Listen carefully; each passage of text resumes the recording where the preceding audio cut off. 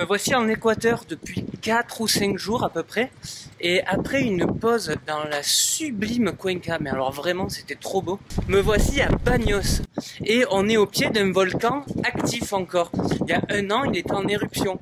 Et euh, dans un guide, j'ai lu que la ville était évacuée à peu près une fois tous les 5 ans à cause du volcan. Là, je me dirige vers un belvédère qui va me permettre d'avoir un bon point de vue sur le volcan et sur la ville de Bagnos.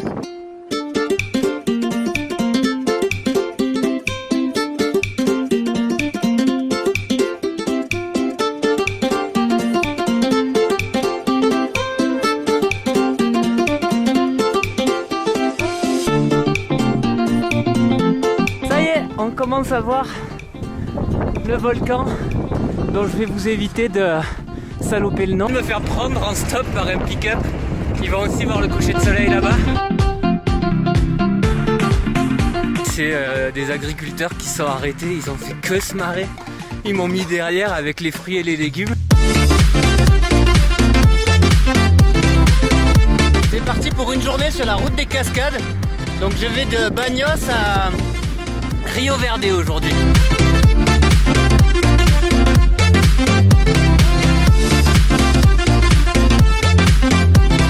Voilà, premier arrêt. Donc là j'ai fait 2-3 km, il y a 16 cascades en tout que je peux voir.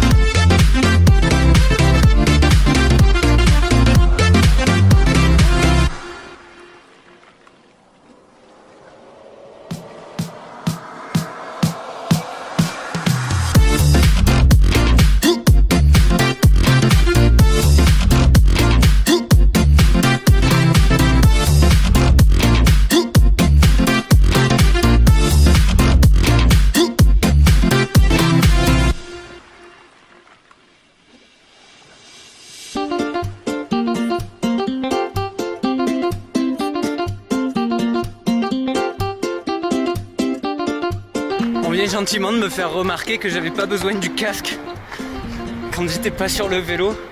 Mais en fait, je l'avais oublié. Donc maintenant, quitte à être ridicule.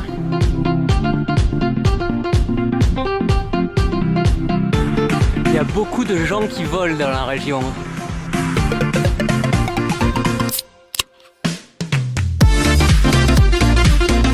Dernière escale de la journée, le pont du diable, El Puerto del Diablo.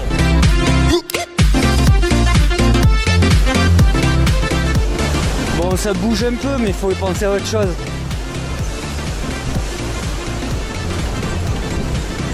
Par exemple au paysage.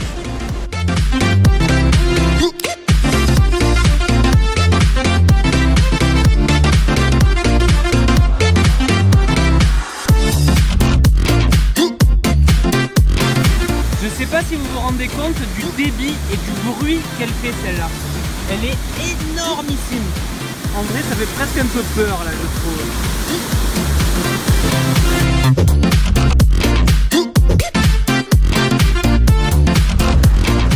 Ça y est, la journée avec les cascades, c'est fini.